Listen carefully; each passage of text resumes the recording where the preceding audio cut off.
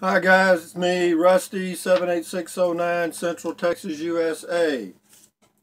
8.42 a.m., 51 degrees, 77% humidity, and the barometer is 30.21 and steady. I don't know what to say, folks. I do have a joke. I want to tell you. I, I, I thought of one yesterday. Uh, and that's, I'm running out though. I'm running out. The news. What's going on in the news? I'll tell you. The news is, you know, this program is is not working. And and I don't know why. I can't imagine. It's so well scripted and well produced in my studio here in Texas. Look, look at this. I mean, what more could you ask for? I mean, a 26 foot RV? Come on. What do you want?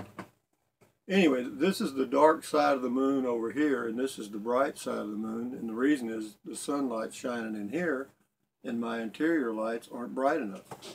And that's just the way it is. Okay? But anyway, one of the biggest stories happened yesterday, apparently, is what they call the Panama Papers. And that's not toilet paper. Mm, new, new, new, new. You know, we've known. I used to, I was a CPA for 20 years, a certified public accountant in the USA for 20 years, and I stopped that profession when I, in the early 90s. Well, I was I went in the Peace Corps in '94, so I guess when I got back, when I got back from the Peace Corps, I didn't want to do it anymore, and I didn't. But I did learn a lot about how people, what trouble people will go to to hide money from the tax man. And they'll go to a lot of trouble, and they're good at it.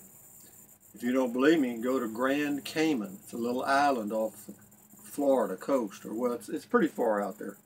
But it's uh, Grand Cayman, not Grand Canyon, but Grand Cayman, C-A-Y-M-A-N. There are 535 banks on that island. You got me? 535. Well, they're all in a little building about about the size of a not uh, about a fourth of a city block. That's where they all are. They're just electronic transfer places. That's all. You know, there's only four or five trustees that run all those banks because I asked. I went in there. I was on the island of Grand Cayman and I got curious and I wanted to know about these banks. And so I went up and knocked on the, didn't knock on the door, you just go in. And I met one of the trustees. He was from England. And he told me all about it. He said, yeah, you just sit here and do these transfers. Money comes in, goes out, comes in, goes out. And uh, that's it. And uh, but he said you almost have to be born into it. You're not going to just apply for a job there and get it. Well, anyway, that's kind of what all this Panama Papers is about. Uh, what they what has happened is apparently somebody must have made somebody pretty angry because when you start releasing information like that, you get hurt. You can get hurt, and because uh, you're you're stepping on some big toes. And so what that tells me is, is somebody with bigger toes decided to step on somebody with littler toes. And uh, anyway, it's happening. It's a good story, and it's got what they call legs. It'll go on forever. Uh, this one will go on for months. It'll be like WikiLeaks. Uh, then, of course, we got Cruz and Trump, blah, blah, blah. Same yesterday. Anyway, I'm going to be quick on this because I got a joke. joke takes three or four minutes. But I'll look at these stories and we'll see if, there, there's a Clinton one. Ha ha ha! Clinton Bernie fight over New York debate, whatever that means. Uh, blah blah blah blah blah. Uh, well, you know, it's it's amazing. It's just all crap. Anyway, let's see what I got here on my on my news on my news, I have all this electronic gear. See, I, I, this is a big production. You don't realize, you don't realize who, you, who you're watching here. I'm telling you, I am impotent. I mean important. Uh, okay, news. Here we go. Here it comes, folks. News. The Daily 202. Cruz expected victory. Da da da da da. Panama Papers. Mass protests in Iceland demanding PM's Prime Minister's resignation. Apparently he got he got caught. But he wasn't the only one, folks. He was not the only one. Uh, move over Chromecast. Roku's faster $50 stick looks like the best streaming value yet. Well, you know what? I have a Roku streaming stick. And this, it's got a little controller like this, and that's why it beats the crap out. I looked at the Chromecast. Mm-mm. This is Roku's better because with with Chromecast you got to use your smartphone. And uh, what else? Uh, da da da da da. Yeah, there, here's one. Here, th this guy did a story. It's called Mic M-I-C. That's the name of the publication, I guess. You might you can find it on the internet. But uh, they did they did a story on the Panama paper leaks and they have an interactive map that shows where all the money is hiding. I'm not shit. It's yeah, you got to check that out. Yeah, the name of the publication, I think, or, or internet site is MIC, and Panama Papers leak. Yeah, check that one out. You get a kick out of that. It's hiding everywhere, folks. It's billions, billions. You know, but we've known about that. Hell, we we have corporations in the U.S. that stick money in the Cayman you know, they move it around. You know, Trump talks about it every now and then, getting all that money back into the U.S. Uh, it could happen, but it's going to take some real uh, smooth moves to get it done. Suspicious activity at North Korea nuclear site. U.S. think tank reports. All right, let's imagine that this thing right here is a think tank, okay? How in the hell is it going to report? This is a think tank, a tank, you understand? Anyway, actually what that is, that's a holder for beer, and it's stainless steel. You got me? And it's really good. It cost me 20 bucks, but you it keeps beer cold. It's not like one of those little cheap styrofoam things, the little rubber one. No, no, no. This one works. Yeah, you can get it over the internet can't, can't read the name. I can't remember who makes it. Thermos, T-H-E-R-M-O-S, Thermos. Yeah, check it out. It's got a little deal up here. You have to get some, this thing's going to come loose after you have it for a while, but uh, you can take some super glue and put it around there and got it back. But no, it's perfect. It, and it'll you, you can set a beer out in the sunlight with this thing for an hour. It'll stay cold. It works. Anyway, what was I saying? Oh, suspicious activity at North Korea nuclear site U.S think tank reports. Well, what, what's happening is they're moving something. What? We don't know. But the bomb, the bomb, no, the bomb, the bomb. You realize in 1950 people were building bomb shelters in Kenedy, Texas, my hometown? You hear me? Really? We had drills at school where you'd go get under your desk. You hear me? Yeah. They, they do it like a, a fire drill and you'd have to get out of your desk and get on, on the floor and put your hands behind your head. Now, you think that's going to protect you from a nuclear blast? Shit. I mean, they find you in that position like those people in the that got hit by the volcano in that country. What was it? Uh, what was I can't even remember the name of the volcano, but the people were like. Anyway, that's what'll happen when you get hit by uh, nuclear blast. But anyway, the bomb, the bomb, the bomb. That, that, whenever you say the bomb, people read it. Okay, we're going to get through this quickly, quickly, quickly. Oh, don't forget the fan funding. Nobody's done it yet. I mean, I, I, I just want to see if it works. It's in the upper right hand of the screen. You'll see a little eye. Click on it. Treasury Department tries again to stop companies from giving up U.S. citizenship for lower taxes. Well, hell, Pfizer's doing it. You know, they, all, all these companies do it. Do you realize that corporations in the United States now have the same rights as citizens because the Supreme Court ruled that they were quote almost they were human? Basically, is what the ruling was. Yep, they did that. Our Supreme Court did. I, I wonder. Never mind. You know, we're supposed to have three branches of government. We're supposed to have the legislative, the executive, and the judiciary. Uh, actually, what you got is one. The, the, you've got corporations with big bucks, and that's the government. That is it. Okay, uh, la da da da da. Did you ever check? Y'all, y'all need to check out that Elio, the little car, E L I O, a three wheel car. Uh, go to their website. It's pretty neat.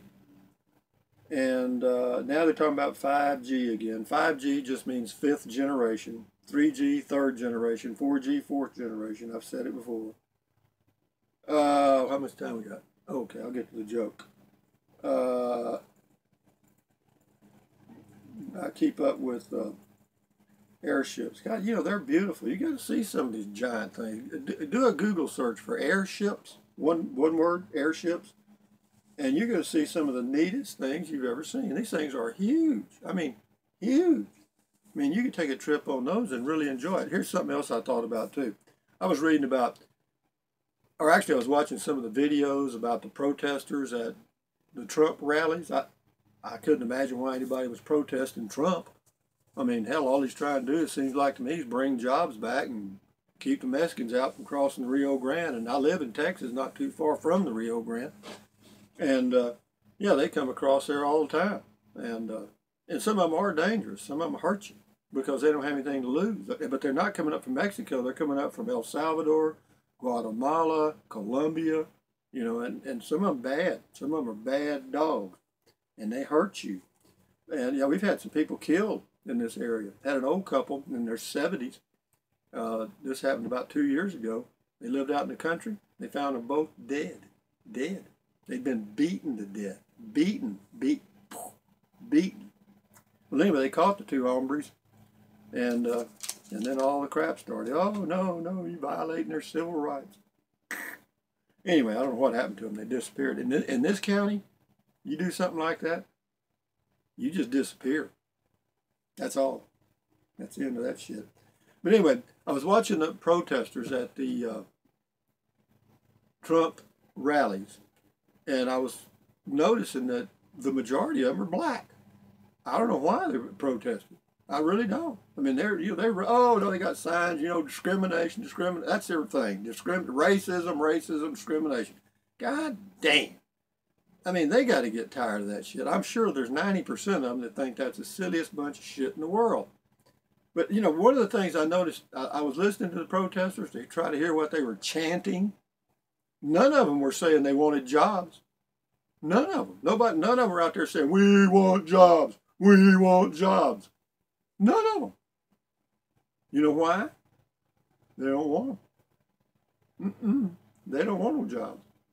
They want the federal government to dole out that money. What they're afraid of is Trump. He, he's not going to cut back on the welfare programs, but he's going to make them qualify for them, and he's going to make them take drug tests. Well, guess what? A lot of them probably can't pass the drug test. You, you hear me? Anyway, but the black protesters, they're not complaining about jobs. Listen to what they say. They're not saying anything about jobs or, or anything that would be a political issue. It's all the same old shit. Tired of it. And you know what? That's what the Trump movement's all about. All the Anglos and Mexicans and Chinese and everybody else is tired of that shit because they go in and tear up your business when, in a protest and uh, or burn down your house or, or burn your car or break out all the windows in it and nothing happens to them. Anyway, the joke. The joke. You're going to have to go back to, I got to do a Google search right quick, for the Notre Dame, N O T R E D A N E Cathedral. Now, there we go. The Notre Dame Cathedral is in Paris and it was formed in uh, 1163. Okay, here we go. It was it was built in 1163. I'm just getting you in position, so you got to be in the historical frame of mind to appreciate this joke. Uh, yeah, it opened in 1345. It's 315 feet high, and that'll be important in my joke. And uh, anyway, it's got a bell in the bell tower. Okay, here we go. Let me get out of this. Now we know where we are. Construction was started in 1163. That was before I was born. But you know, that's right when Chinggis Khan was taking over all of the known world, basically. Because I, I learned a lot about him when I was in Mongolia. They were they were tough people. They were they were mean bastards. Anyway, El Joko. In the year 1300, at Notre Dame Cathedral, there was a bell ringer there named Quasimodo. Every day, Quasimodo would go up the 315 steps to the top of that tower and pull that rope to ring that gigantic bell. Anyway, he had done it for about 40 years, 50 years. He was getting old and it was time for him to retire. So they told him to find a replacement. So he put the word out that he was looking for somebody to replace him as the bell ringer at Notre Dame Cathedral. And he was up in the tower waiting for the guys to come that wanted to interview for the job. And he waited and he waited and he waited and waited. Nobody came.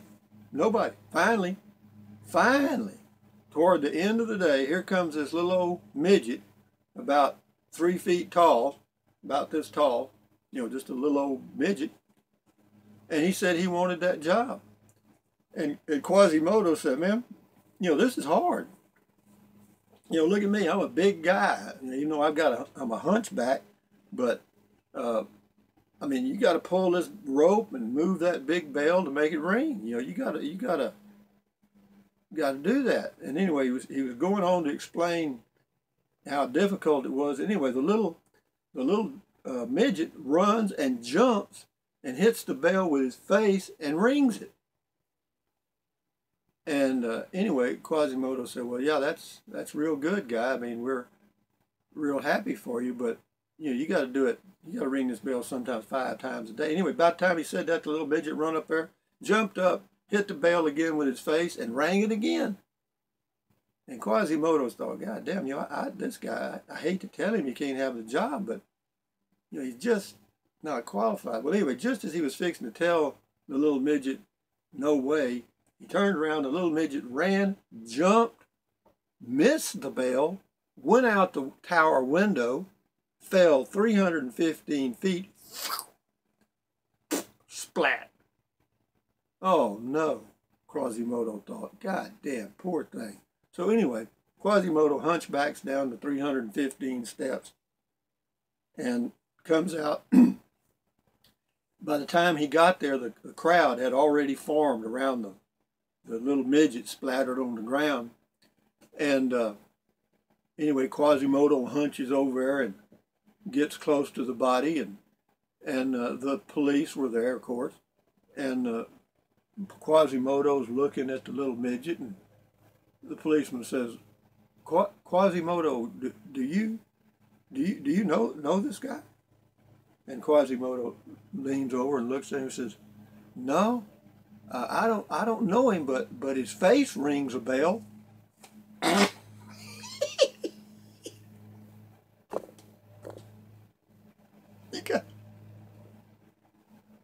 his face rings a bell.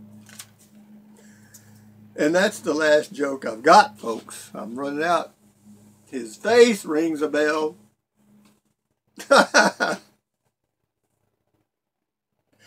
Okay, okay, okay, okay, okay. Don't forget, try the fan funding, one of you guys out there. Just It's up in the upper right. There'll be a little eye, a little eye thing in the upper right.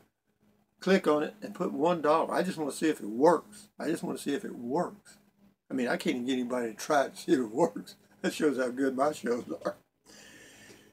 Okay, Rusty seven eight six zero nine, Central Texas, USA, April the fifth, two thousand and sixteen.